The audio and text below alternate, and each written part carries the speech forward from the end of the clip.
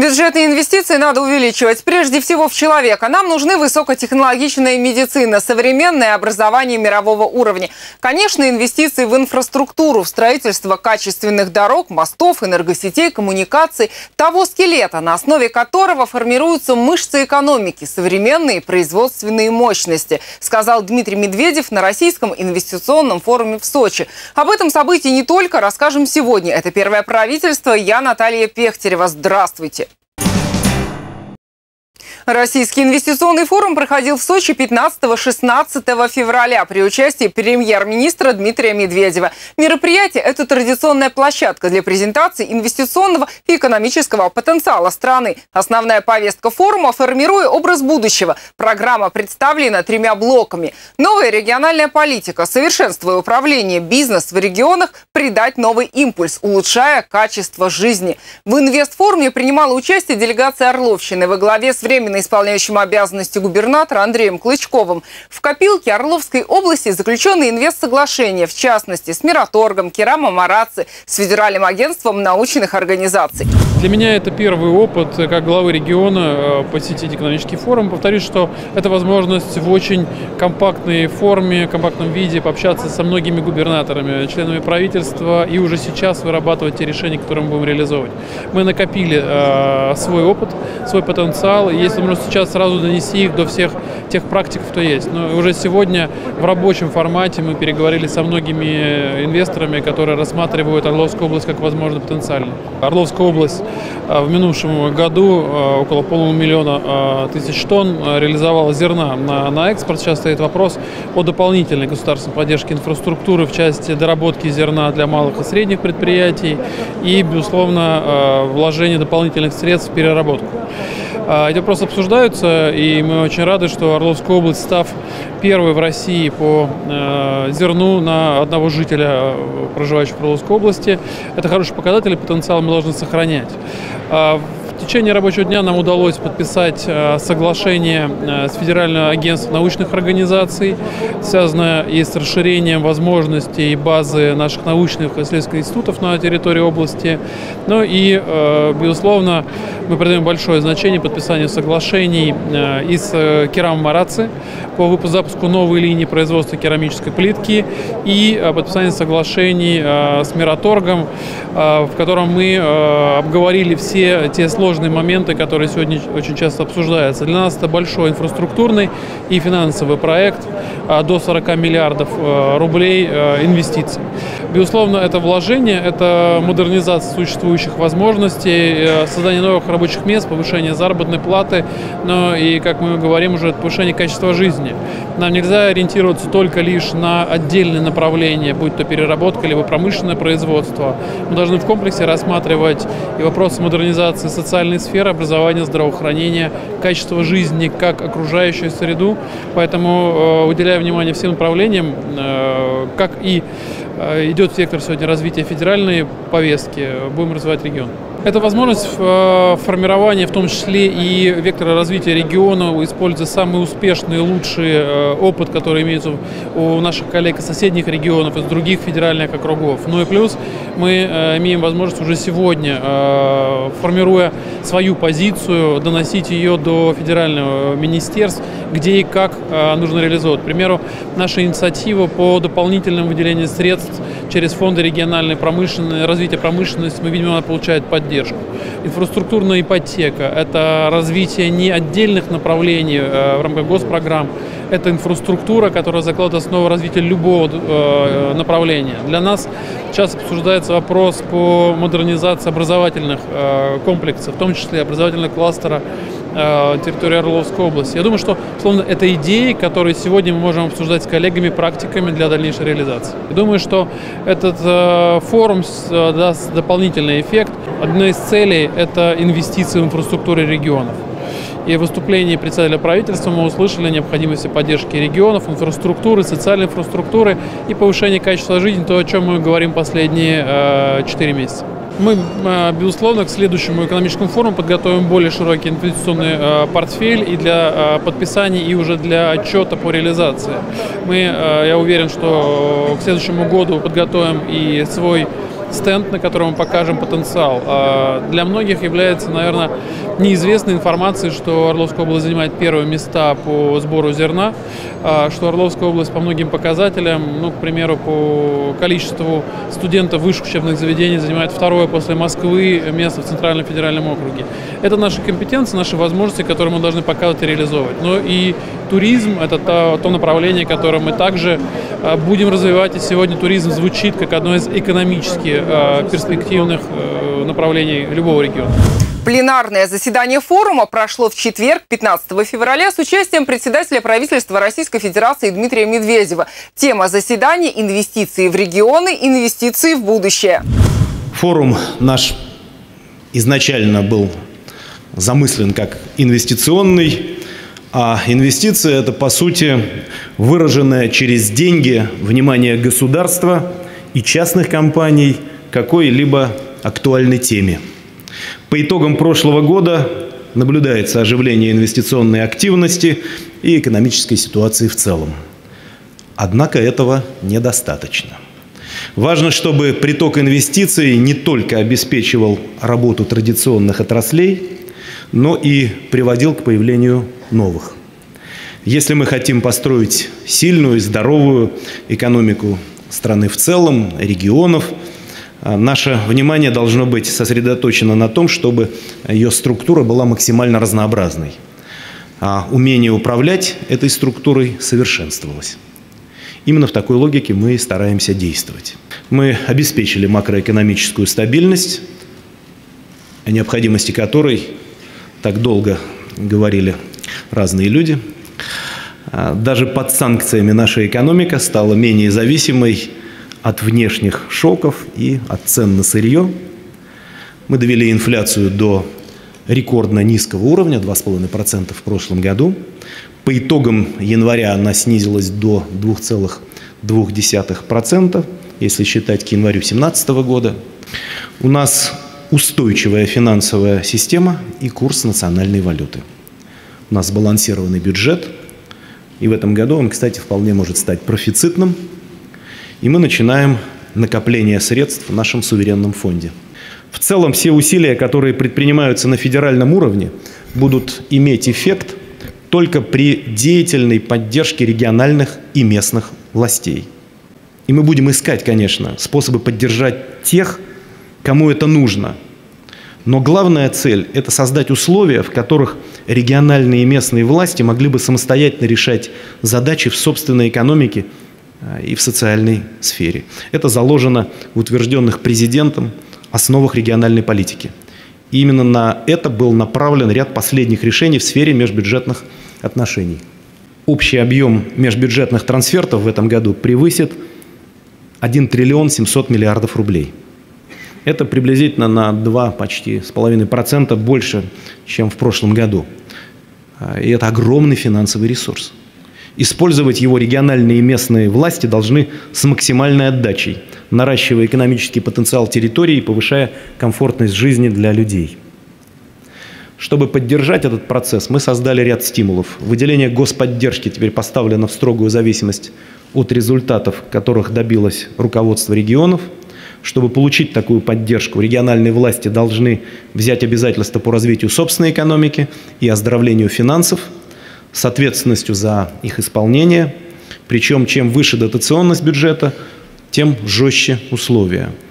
А, ну и, конечно, нужно поддерживать всячески а, самостоятельность регионов, предоставляя им больше свободы. С прошлого года за достижение наивысших темпов роста выделяются гранты, напомню. А с этого года в региональные бюджеты возвращается прирост налога на прибыль организаций пятницу, 16 февраля, премьер-министр России Дмитрий Медведев провел традиционную встречу с главами субъектов. Главная тема – разработка стратегии пространственного развития страны. Стратегию развития районов и городов сейчас обсуждают в Орловской области. Куда двигаться дальше, местные власти должны решать жителями. Это поручение главы региона перспективы и проблемы Андрей Клычков в начале недели обсудил с жителями Знаменского района.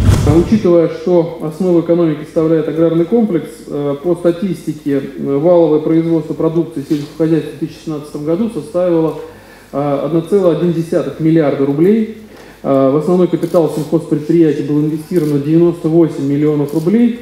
В основном это средства на обновление материально-технической базы в районе зерносушильный комплекс, зернохранилище, крупных предприятий, это Черкизово растеневодство, Авангард Аграрел, Брянская мясная компания, Нарышкинское хлебоприемное предприятие.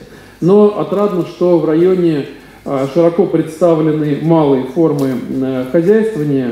1300 э, человек занято в личных подсобных крестьянских хозяйствах. Безусловно, современный агробизнес имеет тенденцию к укрупнению, но, э, повторюсь, без малых форм хозяйствования надеяться на развитие сельских территорий просто немыслимо. Поэтому мы и хотим на сегодняшний день помочь в создании малых предприятий. Доходы консолидированного бюджета района составили примерно 139,5 миллионов рублей. А, более 60% от этой части, 85 миллионов рублей, это дотации из а, областного бюджета, которые прошли, пошли на а, обеспечение мер социальной поддержки, выплаты заработной платы и Э, в целом э, вся социальная сфера э, занимает 75% от расходов муниципального бюджета. Поэтому сегодня основная задача главы района и всей администрации района – это увеличение доходной части бюджета, потому что бесконечно долго мы не можем поддерживать на достаточно высоком уровне дотации. Соответственно, здесь нужен параллельный путь, при котором будут изысканы все возможности и увеличения доходов самого района, ну и, соответственно, мер поддержки стороны областного центра. Хотя могу сказать, что и по окончании прошлого года мы не ушли в сторону, не собираемся уходить, и все необходимые меры финансовой поддержки будем оказывать, а как оказывали, так и будем оказывать впредь, но хотелось бы, чтобы вместе с районом мы решали весь комплекс задач, который стоит. Тем более, что действительно потенциал у района достаточно высокий, несмотря на небольшое количество жителей по сравнению с другими муниципальными образованиями. Что касается проблем, о которых нельзя не говорить, это, безусловно, состояние дорог, том числе состояние школьных маршрутов, которые некоторые находятся в неудовлетворительном состоянии, и здесь мы не можем откладывать в долгий ящик вопрос, то, что безопасность детей находится на первом месте, и э, все возможные э, планы, которые есть, мы должны направить то, чтобы у нас э, школьные маршруты были обеспечены. Э, проблемным является состояние жилищно-коммунальной сферы, содержание многоквартирных домов, высокий уровень износа основных фондов в социальной сфере и жилищно-коммунальном хозяйстве. И, конечно, состояние медицинского э, обслуживания. А пути решения, которые озвучиваются Минздравом, я на прошлой неделе э, встречался с министром здравоохранения Вероникой Игоревной Скворцовой, обсуждали вопросы кадровые, вопрос и э, ФАПов, вопрос, вопрос передвижных ФАПов, о целесообразности э, решения проблем с э, центральными районными больницами. Здесь могу сказать, что я очень рад, что нашел понимание у министра в том плане, что закрывать центральные районные больницы ни в коем случае нельзя. Э, очень много витает слухов. Поэтому, если мы ставим перед собой задачу сохранения сельских территорий, если мы хотим создавать и предприятия на селе, если мы хотим, чтобы молодежь оставалась на селе, то первое, э, первый шаг, который приведет к гибели э, всех этих начинаний, будет закрытие школ и больниц. Поэтому, если мы хотим это направление э, сохранять и развивать, мы должны сделать все возможное для того, чтобы сохранить школы и больницы. И в этом направлении мы и будем двигаться. Несмотря на то, что по России эта тенденция имеет другой ход, и иногда удобнее закрыть районную больницу для того, чтобы не испытывать проблемы. Я понимаю, что и финансисты здесь э, находящиеся могут сказать, что это невыгодно экономически. Действительно, это экономически невыгодно. Но э, давайте просто к этому будем по-другому подходить. У нас с вами есть районные больницы свободной площади. Эти свободные площади не должны быть таковыми. У нас с вами есть люди, кто э, нуждаются в тех же самых хосписах, нуждаются в геронтологических центрах. Только нужно сделать шаг навстречу для того, чтобы э, вложить дополнительные усилия по паллиативной помощи. Это все то же самое, что называется какими-то умными словами, а на самом деле это все, все те самые меры, которые сегодня имеют достаточно большое распространение, о них принято говорить на федеральных телеканалах, только иногда до сельских э, районных больниц э, руки не доходят. Это, конечно, деньги но вложение э, небольших денег позволяет сохранять и базу, потому что основная проблема любой больницы, их две точнее, это нехватка качественного персонала, квалифицированного персонала, и второе – это высокие затраты на обслуживание зданий, сооружений, ну и, соответственно, съедает просто весь бюджет. Э, одно, что могу сказать, э, как бы там ни было неприятно, по э, больницам мы действительно думаем, каким образом оптимизировать административный персонал. Но здесь я надеюсь на понимание, потому что когда у нас на каждую больницу и по бухгалтеру, и по 20 замов, и кого только нет, а врачей мало. Поэтому нам нужно делать все, чтобы сохранить врачебную составляющую, профессиональную, качественную, при этом избавиться от лишних расходных обязательств по административному персоналу. А уже на следующий день жители Болховского района рассказали Андрею Клычкову о том, что их волнует. Дороги ЖКХ, ремонт учреждений образования, рабочие места, развитие туризма. Предлагаю посмотреть некоторые моменты. У нас в 2017 году на территории города Болхова произошло обрушение пешеходной части моста по переулку Первый Ленинский, так называемого Синицына моста. В настоящее время движение по нему перекрыто. А для города Болхова этот мост, в общем-то, очень важен, так как он соединяет две основные транспортные артерии города. Разработана проект документации на почти 5 миллионов рублей. И глава города здесь тоже присутствует, чтобы мы э, вместе и разобрались. Как мне сказали, есть несколько вариантов решения этого вопроса. То есть один вариант мы должны включиться в программу бюджетного финансирования, ну, либо это Э, какие-то резервы на 2018 год, потому что до этого в резерве ее не было, э, либо это решение иным путем. Вот мне сказали, что есть какой-то путь, который, бы, э, который там, за 200-300 тысяч рублей можно было укрепить берега и решить эту проблему. Само полотно 20 сантиметров, значит, а дальше значит, нету никакой подложки. И поэтому те ремонты, которые там еще с советских времен проводились, фактически это земляная насыпная ну, скажем, поверхность, на которой положен асфальт. Я стою за то, чтобы сделать нормальный раз и, как говорится, на века. Если вы считаете, что э, проектная документация готова и она обоснована, то денежные средства нужно выделить. Но, к сожалению, другим объектам придется подужаться, потому что э, придется снять с других про программ. Э, вот э, другого пути не дано. Потому что когда вы говорите, что ответственный подход, я вас абсолютно поддерживаю, что он должен быть. Но глава э, города, когда принимает такое решение, он должен и понимать, где он возьмет эти деньги. Но раз вы считаете, что э, так нужно, давайте так сделаем. Хорошо. У нас, э, как вы знаете, в этом году не очень нормальное положение с реализацией зерна. У нас тут на территории э, есть Волжский завод, пищевой, пищевик, и он закупает э, овес для детского питания, производства. Они готовы закупать овес. Мы им продаем, но они не отдают деньги. Они отдают из-за чего? Потому что бюджет с ними не рассчитывается. Я знаю про эту ситуацию, и Александр Юрьевич Бударин. Ну, годами, мы годами деньги ждем. Уже Александр Юрьевич Бударин, Дмитрий Владимирович Бутусов, э, Владимир Александрович Тарасов, уже все в курсе этой ситуации. Сейчас потихонечку эту дебиторскую задолженность э, удается решать, не все сразу в курсе этого вопроса. Держим на контроле, ну, будем стараться Поддержите производителя-то. После Чернобыльской аварии город Болхов часть Болховского района попала по Чернобыльский след. Когда был принят Чернобыльский закон, город определили статусом город с правом населения большую часть района. В 2015 году статус отсняли. Мы пытались тут поднимать вопрос. Наши депутаты писали на областной Совет народных депутатов. Совет народных депутатов писал на правительство, говорил, что это преждевременно, что это неправильно. И ничего мы добиться не можем. Что касается чернобыльских льгот, э, я, Андрей Иванович, просьба, э, не, не так, чтобы мы искали просто все эти обращения, переписку. Э, возьмите контакты, э, посмотрю сам. Потому что можно легко сказать, что это федеральный вопрос. Ну, давайте посмотрю просто сам для себя.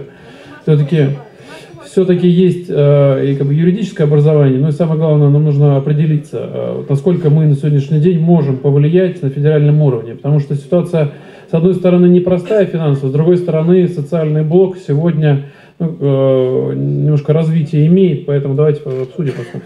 Здание нашего учебного заведения, оно является памятником архитектуры. Вот главный вопрос, который интересует педагогов, родителей и детей гимназии – это замена старых окон, поскольку многие окна были установлены еще в середине 20 века.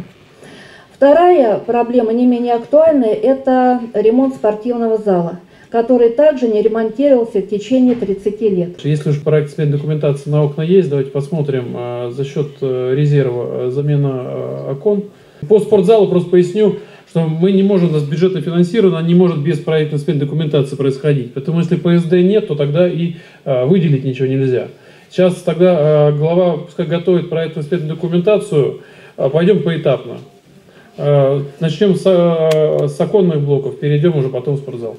Я представляю региональное представительство «Дети ангелов». На данный момент я проживаю в городе Болхове. У меня мальчик Елисей. Вот, сейчас на данный момент ему 7 лет. Елисей проведена тяжелая операция. В Российской Федерации не было возможности произвести ее, ее сделали за рубежом. И мы долгое время реабилитировались и находились за границей, в Европе. Это очень тяжелые заболевания, которые очень тяжело протекают. У нас в областной больнице до сей поры нету суточного мониторинга, который мы можем провести своего ребенка. Я должна его ввести в Москву и отплатить за несколько часов около 56 тысяч рублей. Понимаете, что это огромные деньги. Мы должны суточный мониторинг проводить три раза в месяц проследить, как действует динамика препаратов. Мы хотим создать центр, просим вашей поддержки. У нас есть здание свое, которое помогли нам приобрести. Но мы хотим, чтобы вошли эти программы на наш. Есть две программы сильные, которые готовы поддерживать. Это программа «Лыжи мечты», вы, наверное, слышали про нее. И мы хотели бы привозить иностранных специалистов, как на данный момент мы, я обращаюсь не только от себя, а всех мам города Орла. Андрей Иванович, возьмите контакты, действительно, это вот э, паллиативная медицина э, э, ровным счетом имеет э, не меньшее значение, как и вот то, о чем говорит Микрофон девушка. назад, пожалуйста, Светлана Ивановна Белик. Говорит девушка, и нам нужно эти направления обязательно развивать. Контакты возьмите. Мы с своей стороны, я думаю, что на министерском уровне и на базе контактов московских можем себе поставить задачу попытаться этот центр организовать. Изучайте через э, в течение недели-двух предложения по, уже по реализации. Что нужно. В начале улицы у нас находится церковь Афанасьевская. В эту церковь большинство ходят пожилые люди. Но дорога очень плохая. Департаменту дадим поручение, чтобы выехали, э, посмотрели. Если э, дорога действительно на сегодняшний день как бы, в рамках э, возможных решений и есть возможность готовить проектную документацию и объемы позволяют через дорожный фонд, то давайте планировать. Но на самом деле я думаю, что реально, чтобы не быть, не давать обещаний, которые не исполню, понимать, что сегодня надо выехать, подготовить проектную сметную документацию, и 2019 год уже ее включать тогда. Наша школа долгие годы была и есть на сегодняшний день школой здоровья. Э, на сегодняшний день обучается 547 обучающихся и 26 воспитанников дошкольного уровня общего образования. То есть это самая большая школа в районе. Спортивный зал у нас перегружен, потому что помимо наших обучающихся еще он имеет э, огромную ценность и загруженность в плане огромных масштабных мероприятий районных. И на сегодняшний день он очень требует ремонта. На социальные объекты резерв небольшой есть. А, с вас проектная документация, с нас выделение денег. Спасибо огромное. Потому что ну, я, здесь, наверное, ключевое, что услышано, а, здесь, если 500 детей, то а, мы можем много рассуждать на разные темы, но 500 детей это все-таки огромное количество людей, которых просто нельзя оставить такую ситуацию? Дело в том, что, что вот сейчас говорят про дороги, это извечная тема. Мы ее никогда не решим теми темпами и теми подходами, которые сейчас у нас в области. К сожалению, значит, есть новые технологии, которые позволяют все вот эти брошенные сельские дороги делать нормально. Да, для этого надо просто позаниматься. У нас 13 тысяч дорог, из них 9 тысяч сельские, поселковые, межмуниципальные. Это вот как раз они самые заброшенные. Это вы про стабилизацию грунта? Да. Ну, а вы назовите стоимость квадратного метра. А, значит, ну, пожалуйста, там есть сумма. 1700, 1200 рублей. Пятый класс 650 рублей, но который развалится после проезда первого КАМАЗа. А, это практика, которая есть в Орловской области. Один пример дороги. И то техническую дорогу строили. Я за. А, но, понимаете, вот если бы у нас с вами был огромный бюджет, к примеру, нам дали бы на год московский бюджет, мы бы отстабилизировали все дороги. Э, но у нас с вами на сегодняшний день нет возможности э, подходить, применять новые технологии, которые на самом деле не всегда э, имеют результат. Я не могу позволить себе экспериментировать за бюджетные средства. Поэтому есть два вида жидкости химической. Российская и немецкая. Немецкая стоит в два раза дороже. Нам ее с вами просто не осилить по нашему бюджету. Вот немецкая держит хорошо, но стоимость квадратного метра до 1700 рублей. Это дороже асфальта на 500 рублей. Болховский кривический музей. Земельный налог уже с этого года будет взиматься согласно кадастровой оценке. А кадастровая оценка, к сожалению, нас много раз увеличила кадастровую стоимость многих земельных участков. Но это не только в Болховском районе, я думаю, что это на территории всей Орловской области и других областей. Для э, переоценки кадастровой стоимости у нас с вами есть комиссия, которая занимается э, реальной оценкой. То есть если вы вносите в комиссию заявление о том, что э, кадастровая стоимость не соответствует реальной рыночной стоимости земельного участка, потому что не учтены такие-то такие показатели, то э, эта комиссия проводит переоценку. И второй момент, второе направление – это традиционный суд, при обращении в который также можно изменить стоимость рыночную или кадастровую стоимость данного земельного участка. Это была программа «Первое правительство». Все наши выпуски можно найти на сайте obladin.ru.